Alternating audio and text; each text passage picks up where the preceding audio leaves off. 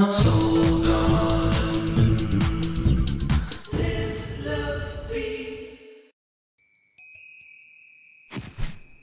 philosophers, and welcome now to Tuesday.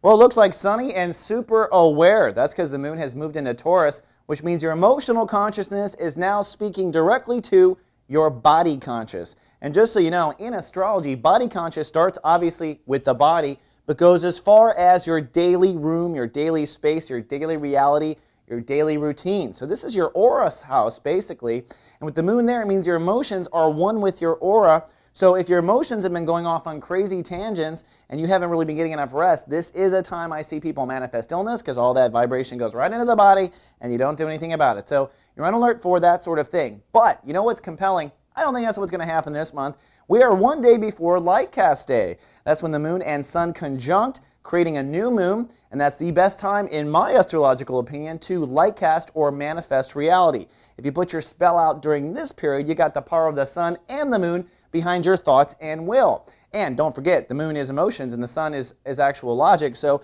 having those two together really does make sure that you're going to have a powerful echo back from the universe. And really, the most the best place for you to make change in the next 30 days is really with this manifestation focused on your daily reality. How's your body? How's your health? We've been talking about this all month.